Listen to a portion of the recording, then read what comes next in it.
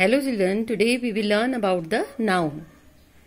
हम किसी का नाम बोलते हैं, किसी जगह का नाम बोलते हैं, किसी नदियों के नाम बोलते हैं, पहाड़ों के नाम बोलते हैं, और किसी वर्ल्ड में कोई भी जगह है, स्थान है, पूरी दुनिया में उनके नाम बोलते हैं, और अपनी भावनाओं को कैसे व्यक्त करते हैं, भावनाएँ होती हैं हमारी, हमको खुशी है या गम है, और ये सब चीज़ें जो है, ये नाउन में आती है, संज्ञा, उनको हम नाउन बोलते हैं। ठीक है? तो अब नाउन की जो डेफिनेशन है, वो है noun is a name which refers to a person object living और नॉन लिविंग और फीलिंग नाउन नाम है किसी पर्सन का। पर्सन व्यक्ति, कोई भी व्यक्ति हो। ठीक है? व्यक्ति का ऑब्जेक्ट ऑब्जेक्ट माने किसी वस्तु, कोई भी वस्तु वो चाहे लिविंग हो और नॉन लिविंग लिविंग भी हो सकती है जीवित और निर्जीव और फीलिंग ठीक है? और जैसे इसका एग्जाम्पल्स हम देखते हैं, रोहित नाम है आदमी का मैन है, आदमी माउस चूहा है टेबल है लिली फूल का नाम है रेन वर्षा है है ना? जॉय खुशी एक्सेट्रा ऐसे जो नाम आएँगे वो सब किसमें आते हैं? नाउन में। तो हम नाउन की डेफिनेशन को इस तरह से भी पढ़ सकते हैं। A noun is the name of a person place और thing a noun is the name of a person place और थिंग ऐसे भी हम देखते हैं। तो ये हो गई इसकी डेफिनेशन एक noun is the name which refers to a person object living और नॉन लिविंग और फीलिंग या noun is the name of, pers of a person, place or thing. Now we will read about types, types of nouns. संज्ञा के प्रकार कितने होते हैं? Noun can be classified into two kinds two kinds होते हैं। संज्ञा को हम दो प्रकार से वर्गीकृत कर सकते हैं। एक है काउंटेबल नाउन जिनको कि हम गिन सकते हैं। काउंटेबल मने काउंटे गिनने, गिन, गिनी जा सकने वाली संज्ञा। और दूसरा होता है अनकाउंटेबल नाउन जिसको हम नहीं गिन सकते। अब वो क्या आते हैं, वो हम आगे देखेंगे। काउंटेबल नाउन में जैसे आता है माउस चूहा। कितने सारे भी चूहे हैं तो अनुमान लगाया जा सकता है, ये इतने हैं, है ना? और कुछ कम है, उनको तो गिना जा सकता है। ज़्यादा है तो उनका अनुमान लगाया जा सकता है। फूल, लिली है, उसको गिन सकते हैं। मैन, आदमी है, उनको गिन सकते हैं एक्सेट्रा जिनको हम गिन सकते हैं, उनको हम बोलेंगे काउंटेबल नाउन और अनकाउंटेबल नाउन वो होंगे जिनको हम नहीं गिन सकते। उनमें क्या आएगा? जैसे वर्षा हो रही है। वर्षा कितनी हो रही है? है ना? तो रेन है जॉय है, खुशी है, कितनी? उसकी मात्रा हम नहीं गिन सकते हैं। तो उसको हम बोलेंगे अनकाउंटेबल नाउन ऐसी कई और शब्द भी हैं जिन, जो अनकाउंटेबल नाउन में आएँगे. तो an uncountable noun is often use as a countable noun कभी कभी जो अनकाउंटेबल नाउन है, वो काउंटेबल नाउन की तरह भी यूज़ होता है. जिसको हम गिन नहीं सकते हैं, उसको भी हम गिन सकते हैं. अब कैसे गिन सकते हैं? देखो, जैसे टी है, चाय. हमने बोला चाय. चाय को हम नहीं गिन सकते, ये अनकाउंटेबल होगी। लेकिन अगर हम बोलेंगे टू टीज दो चाय, दो कप चाय टू टीज का मतलब होता है दो कप चाय। तो ये क्या हो गया? काउंटेबल इस तरीके से काउंटेबल भी हो सकता है, जो चीज़ अनकाउंटेबल है। जैसे वाटर पानी पानी को हम नहीं गिन सकते तो अनकाउंटेबल हो गया। लेकिन टू ग्लास वाटर अगर हम बोलेंगे तो वो क्या हो गया? दो गिलास पानी क्या हो गया? Countable nouns are written in plural form but are always taken as singular कुछ नाउन्स को हम प्लूरल फॉर्म में लिखते हैं, बहुवचन रूप में लिखते हैं, लेकिन वो हमेशा सिंगुलर लिए जाते हैं। जैसे हम कहते हैं give me the pliers pliers बोलते हैं ना? प्लायर जानते हो? प्लायर तो उसको हम प्लायर्स ही बोलेंगे, लेकिन वो हम है वो एक ही चीज़। We can get the latest news from the internet internet के द्वारा हम अभी की ताज़ा खबर ले सकते हैं, है ना? ताज़ा खबर ले सकते हैं। तो न्यूज़ बोलेंगे। न्यू न्यूज़ ही होता है वो, ओके? तो ये चीज़ें, कुछ ऐसी चीज़ें हैं जिनको हम सिंगुलर फॉर्म में ही लेते हैं। अब हमारा ये आ गया, ये तो हमने पढ़ा टाइप्स ऑफ़ नाउन अब हम पढ़ेंगे काइंड्स ऑफ़ नाउन नाउन कितने प्रकार के होते हैं? ठीक है? तो सबसे पहले होता है प्रॉपर नाउन, व्यक्तिवाचक संज्ञा। व्यक्तिवाचक संज्ञा। अब जो नाउन हमने इतने सारे नाउन हम बोलते हैं, उसको हमने क्लासिफाई मतलब बांट दिया है। भागों में बांट दिया है। तो पहला प्रॉपर नाउन है किसी एक विशेष व्यक्ति, किसी विशेष व्यक्ति, वस्तु, विशेष वस्तु, कोई भी विशेष वस्तु हो। विशेष स्थान, किसी विशेष स्थान के बारे में, जगह के बारे में के नाम को प्रॉपर नाउन कहते हैं, ठीक है?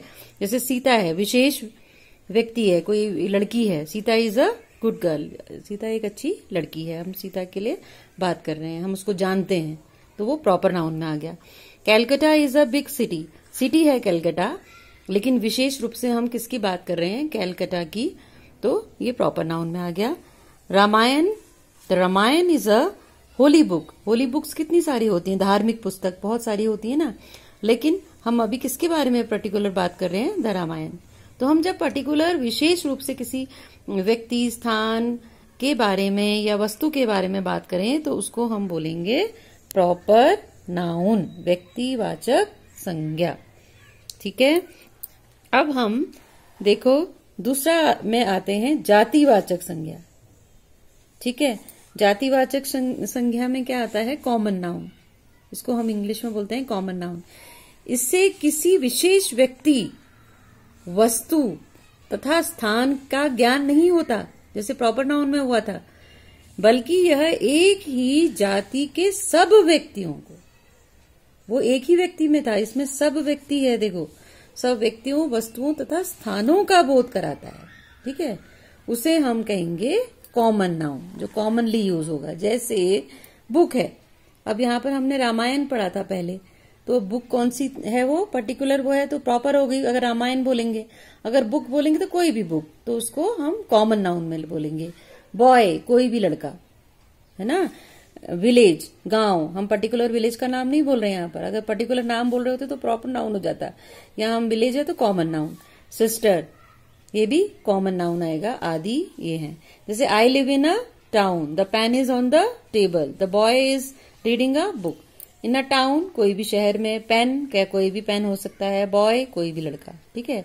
तो ये सब जो आते हैं, ये हो गए कॉमन नाउन में। अब आएगा थर्ड जो होता है कलेक्टिव नाउन क्या आता है? कलेक्टिव नाउन इसको हिंदी में बोलते हैं समूहवाचक संज्ञा। कलेक्टिव नाउन को क्या बोलेंगे? समूहवाचक संज्ञा इससे एक ही प्रकार की वस्तुओं के समूह का बोध होता है। समूह में जब हम बात कर रहे हैं तो वह कलेक्टिव नाउन में आएगा। जैसे, Sita reads in my class है ना? तो क्लास जो है, एक समूह है। मतलब ये, इसमें ऐसे वर्ड आएँगे जो समूह से, को ही दर्शाते हैं। उसमें एक व्यक्ति, दो व्यक्ति से नहीं चलेगा। वो समूह होना चाहिए। क्लास में क्या एक क्लास क्लास में एक ही बच्चा होता है? क्लास में दस बच्चे पाँच बच्चे सौ बच्चे दो सौ बच्चे एक हज़ार बच्चे कितने भी बच्चे हो सकते हैं। तो क्लास एक समूह है।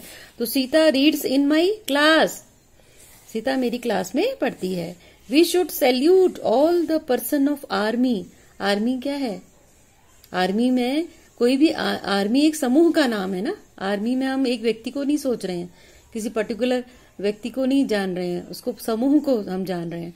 तो ये we should salute all the person of army ये भी हमारा किसमें आ जाएगा? कलेक्टिव नाउन में। Raju is in my team team भी कैसे बनती है? समूह से ही बनती है। कोई भी टीम बनेगी। तो उसको भी हम क्या बोलेंगे? कलेक्टिव नाउन अगला आता है मेटीरियल नाउन मेटीरियल नाउन होता है पदार्थवाचक संख्या। है ना? जो मेटीरियल बन से बने इससे ऐसे धातु या पदार्थ का ज्ञान होता है जिससे कि अन्य वस्तुएँ बनती हैं। गोल्ड, सिल्वर, वुड, है ना? सोना, चांदी, लकड़ी, लोहा, आयरन।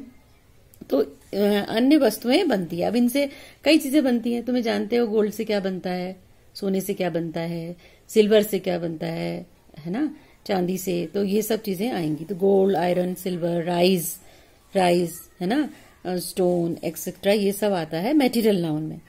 सिल्वर इज़ व्हाइट जैसे हमने यहाँ पर बोला सिल्वर क्या है? सफ़ेद है। The ring is made of gold अंगूठी बनी है किसकी? सोने की। This table is made of plastic यह टेबल किसका बना हुआ है? प्लास्टिक का। तो ये प्लास्टिक गोल्ड और सिल्वर ये क्या है? मेटीरियल नाउन क्या है? मेटीरियल नाउन फोर्थ हो गया, अब फिफ्थ आता है हमारा एब्स्ट्रैक्ट नाउन क्या आता है? एब्स्ट्रैक्ट नाउन भाववाचक संज्ञा। इससे किसी गुण, दशा अथवा कार्य का बोध होता है एब्स्ट्रैक्ट नाउन में। जैसे ब्यूटी सौंदर्य, इसमें हमारे किसी के गुण का बोध हो रहा है। यूथ दशा का बोध हो रहा है। जवानी, है ना? ऑनेस्टी ऑनेस्टी ईमानदारी, गुण का बोध हो रहा है। चाइल्डहुड अवस्था का, है ना? चाइल्डहुड बचपन जो है। तो ये किसमें आएँगे हमारे? एब्स्ट्रैक्ट नाउन भाववाचक संज्ञा। ठीक है? ये भाववाचक संज्ञा हो गई तो फाइव हमने पढ़े। तो फ़र्स्ट हमारा क्या था? जो सबसे पहले हमने पढ़ा था, वो था proper noun first proper noun second जो था, वो है हमारा common noun second common noun third हमारा है कलेक्टिव नाउन समूहवाचक संज्ञा. फिर हमारा आता है मेटीरियल नाउन पदार्थवाचक संज्ञा. और लास्ट में फिफ्थ है एब्स्ट्रैक्ट नाउन भाववाचक संज्ञा. कुछ वाक्य और पढ़ेंगे, जैसे इसमें हमने हम पढ़ा ये देखो. शी लॉस्ट हर ब्यूटी ये हमारा एब्स्ट्रैक्ट नाउन में आ रहा है beauty honesty is the best policy honesty हमारा एब्स्ट्रैक्ट नाउन में है. Ravi is very thin boy बहुत पतला व्यक्ति है, लड़का है ना? तो ये उसकी अवस्था हो गई उसका गुण हो गया या उसकी अवस्था हो गई अवस्था हो गई वट अ ब्यूटीफुल फ्लावर कितना सुंदर फूल है। तो ऐसे शब्द जो आएँगे beautiful thin honesty beauty sad he is very sad today दुखी है आज वह बहुत। तो ये सब आता है एब्स्ट्रैक्ट नाउन में।